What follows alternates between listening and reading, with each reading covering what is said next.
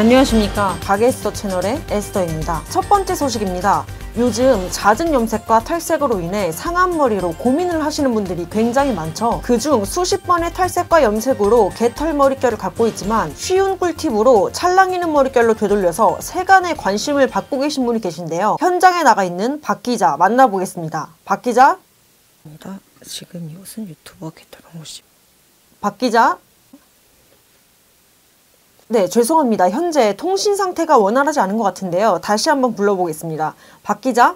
네, 현장에 나와 있는 박 기자입니다. 지금 제가 나와 있는 곳은 개털 유튜버 박모 씨 집인데요. 수건과 드라이기가 집안 곳곳에 놓여 있어 주목을 받고 있습니다. 자, 그럼 여러분들과 함께 박모 씨를 만나보도록 하겠습니다. 안녕하세요. 아, 네, 안녕하세요. 개털머리입니다. 네, 일단 취재에 응해주셔서 감사합니다. 지금 머리 상태를 좀 보여주실 수 있으실까요? 네, 지금 제 머리 상태를 보시면 지금 아무것도 안 한 상태인데 엄청 푸석푸석해요. 그래서 이렇게 손가락을 넣어보면 손가락이 내려가지 않는 네, 이 정도의 푸석푸석한 머리를 갖고 있어요. 근데 지금 제 머리 뿌리가 조금 신경 쓰이시는 분들이 계실 것 같아서 제가 이제 며칠 후에 염색을 하러 가거든요. 근데 이제 염색하기 전에 이 영상 찍으면 좋을 것 같아서 취재 응하게 되었습니다.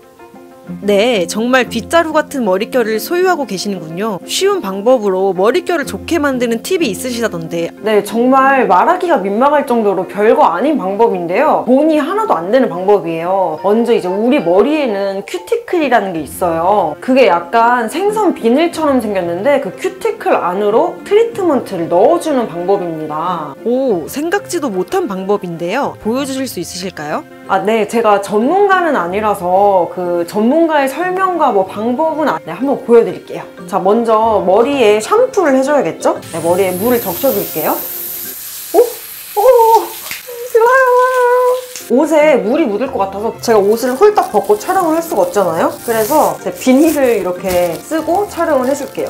자 이제 샴푸를 하면 이렇게 물기가 떨어지잖아요. 물기를 최대한 이렇게 쭉 짜주고 집에 이런 트리트먼트 하나씩 다 갖고 계실 거예요. 이거를 손에다가 이렇게 짜준 다음에 머리에다가 도포를 해줘요. 그런 다음에 이 트리트먼트가 이렇게 묻어있잖아요. 이거를 이렇게 위로 올려줘요. 이렇게.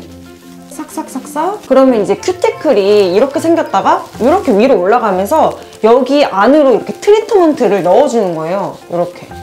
이해가 가시나? 이렇게 쓱쓱쓱 머리를 위로 올리면서 트리트먼트를 큐티클 안으로 다 넣어줬다면 큐티클을 다시 이렇게 닫아줘야겠죠? 그래서 머리를 다시 밑으로 이렇게 쓸어내려줍니다. 그러면 이제 이 트리트먼트가 큐티클 안에 들어가겠죠? 오, 쓸데없이 머리카락의 원리를 생각하셨네요. 네, 네, 맞아요. 그리고 이제 기다려야 되는데 기다리는 시간이 아깝잖아요. 그래서 저 같은 경우에는 샴푸를 먼저 하고 트리트먼트를 이렇게 도포를 해놓고 그 다음에 머리를 묶어서 이렇게 올려주고 그 다음에 이제 샤워를 해줍니다. 그러면 이제 기다릴 필요 없이 시간을 절약할 수가 있겠죠? 이렇게 한 5분에서 10분 정도 방치를 해주는데요. 만약에 헤어캡이 있으시다면 헤어캡을 쓰셔도 좋고 만약에 헤어캡이 없다 하시면 이 수건에다가 따뜻한 물을 적셔가지고 꾹 짜준 다음에 머리 위에다가 올려줘도 괜찮아요. 이렇게 네, 근데 왜 헤어 트리트먼트를 머리 전체에 도포하지 않으시는 거죠? 아, 네. 저 같은 경우에는 그 헤어 트리트먼트를 머리 전체에다가 도포를 하면 너무 이렇게 뿌리부터 가라앉는 느낌이 들기 때문에 아래쪽이 많이 상했으니까 아래쪽에만 도포를 하고 그 다음에 머리를 이렇게 뭐 뿌리 위에다가 올려놓으면 그 트리트먼트가 아래로 싹 스며들면서 어, 위에도 이렇게 트리트먼트가 알아서 자연스럽게 도포가 되더라고요. 그래서 저는 이런 방식으로 진행을 해요. 그리고 머리를 다시 감을 때도 손으로 쓸어주면 훨씬 더 머리카락 떨어지는 것도 방지하고 꼬인 머리카락도 풀어주니까 이렇게 빗질도 한 번씩 해주시면 더 좋아요. 네, 이렇게 한 5분에서 10분 정도 방치를 해줬으면 감아줄게요. 보이시나요? 제 머릿결? 짜라란. 얼굴에 무. 그리고 여러분 수건 이렇게 호텔 수건처럼 말아놓으시면 기분이 참 좋아요. 머리 말릴 때도 방법이 있다고 하시는데요. 어떤 방법이죠? 이제 머리를 말리실 때도 이렇게 말리시는 분들이 계세요. 근데 이렇게 말리게 되면 머리가 붕붕 뜨면서 엉키게 될 수가 있어요. 왜냐면 아까도 말씀드렸다시피 큐티클이 위로 이렇게 싹싹싹싹 벌어지면서 큐티클이 이렇게 쓰게 되겠죠? 그래서 위에서 아래 방향으로 말려주는 게 포인트입니다. 네, 그런데 그렇게 말리시면 팔이 아프지 않으신가요? 네, 팔이 아프죠. 근데 여기에도 이제 방법이 있습니다. 팔 아픈 거에 신경 쓰지 마시고 다른 고통스러운 생각들 있잖아요. 자기 전에 생각나는 이불 발차기 할 나의 그런 과거의 행동들, 나의 잘못들을 반성하는 마음으로 그것들을 계속 생각하면서 말리시다 보면 그 고통이 이제 팔에서 뇌로 가거든요. 그래서 이제 상대적으로 팔이 안 아플 수가 있습니다. 자 그리고 머리를 말리다 보면 이렇게 정수리 부분은 상대적으로 빨리 마르는데 이 머리 안쪽은 잘 안 마르거든요. 그래서 저 같은 경우에는 섹션을 나눠줘요. 이 안쪽 머리를 네, 이런 식으로 말려줍니다. 머리를 안 말리고 그대로 두면 다시 개털머리로 돌아갈 수 있으니까 그 점도 좀 주의를 해주시면 좋을 것 같아요. 그리고 제가 쓰는 드라이기는 바람 온도를 조절을 할 수가 있거든요. 찬바람, 미지근한 바람, 뜨거운 바람. 그래서 처음에는 이제 뜨거운 바람으로 살짝 이렇게 말려주다가 반 정도 마르면 차가운 바람이랑 미지근한 바람을 섞어서 말려줘요. 계속해서 뜨거운 바람으로 말려주게 되면 머릿결이 더 상할 수가 있잖아요. 그래서 바람 온도도 조절을 해가면서 말려줍니다.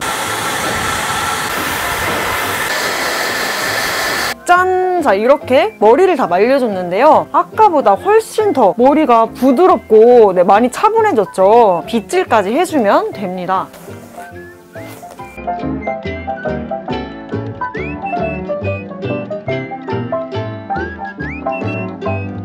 자 여기서 헤어 에센스까지 발라주면 더 머릿결이 찰랑찰랑해지겠죠? 네, 감사합니다. 별거 아니지만 전후 영상을 보니 꽤 변화된 모습이 보이네요. 평소에 이렇게 하지 않으셨던 분이라면 한 번쯤 도전해보셔도 괜찮을 것 같습니다. 모쪼록 개털 박모 씨의 다음 염색도 성공하시길 바라겠습니다. 오늘의 뉴스가 재밌고 유익하셨다면 구독과 좋아요 그리고 아래 댓글에 찰랑찰랑이라고 한 번씩 남겨주세요. 저희는 또 새로운 소식으로 다시 찾아뵙겠습니다. 감사합니다.